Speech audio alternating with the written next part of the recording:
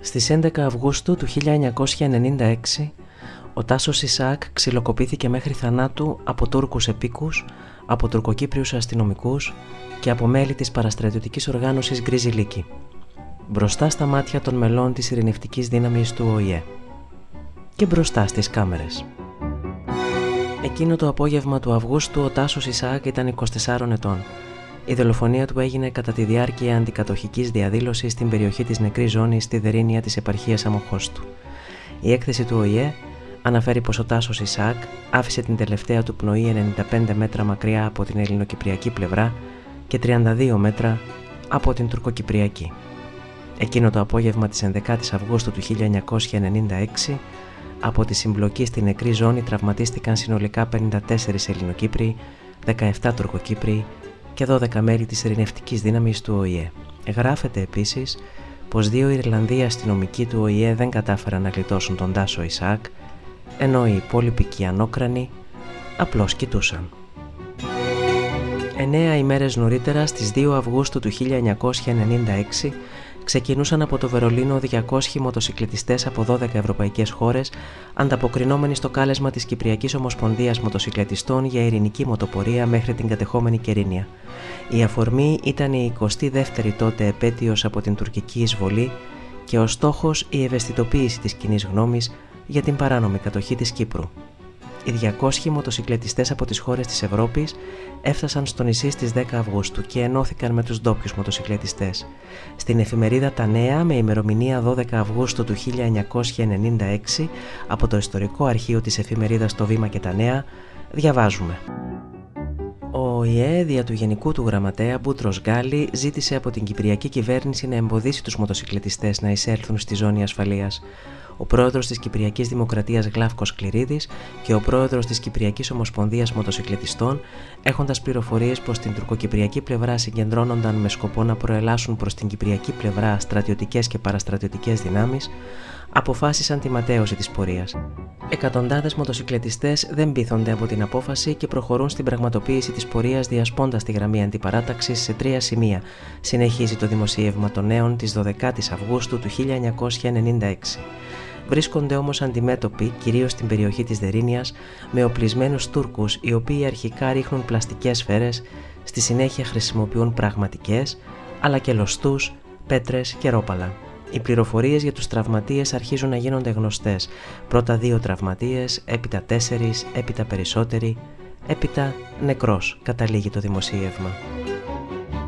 Ο νεκρός είναι ο Τάσος Ισάκ, ο οποίος θέλοντας να βοηθήσει έναν καταδιωκόμενο φίλο του διαδηλωτή, εγκλωβίστηκε στα σειρματοπλέγματα και ξυλοκοπήθηκε με πέτρες, ρόπαλα και λωστούς, ξυλοκοπήθηκε μέχρι θανάτου.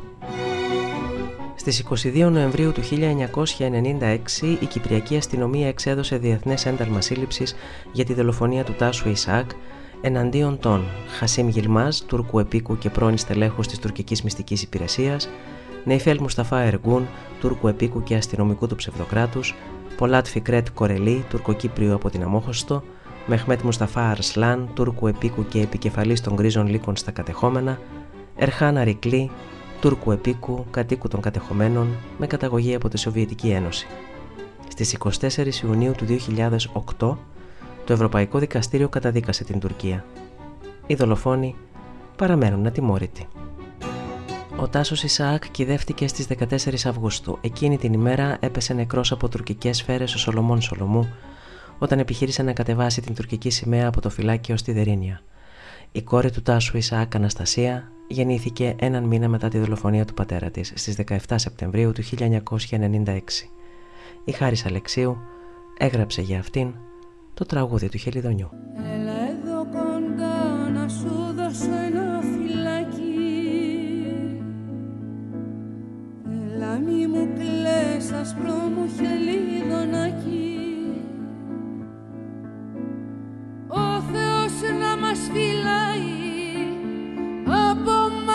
κοιτάει πονηρά Ο Θεός να μας σκεπάζει όταν η ψυχή τρομάζει τη χαρά. Πες μου τι σε πολεμάει.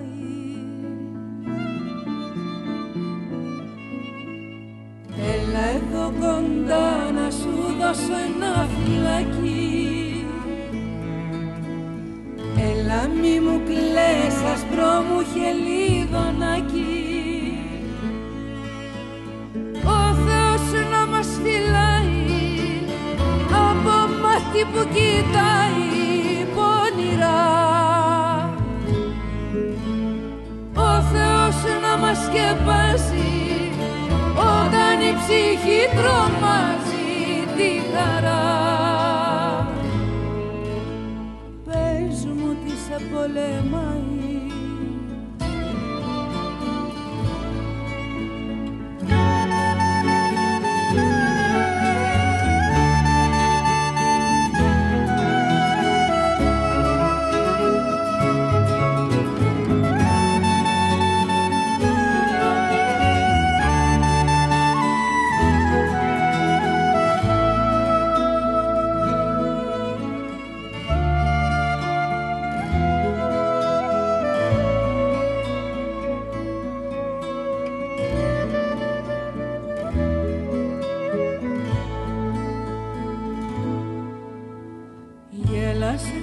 Μα ακριστάλενιο μου αγγελούδι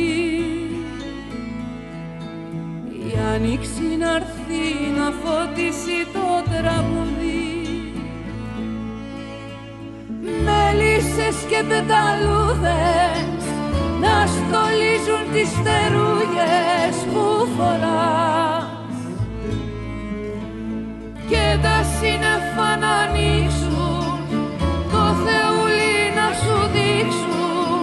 μιλάς.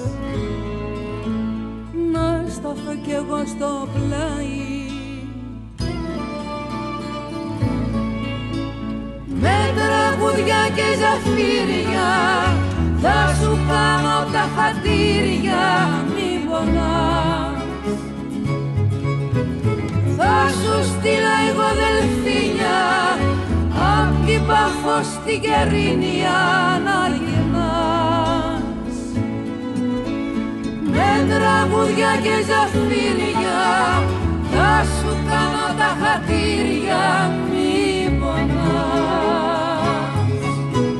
Θα σου στείλω εγώ δελφίνια απ' την Παφό στην Κερίνια να γυρνάς. Όλες του νησιού τις χάρες να φοράς τη ζωή να τραγουδά.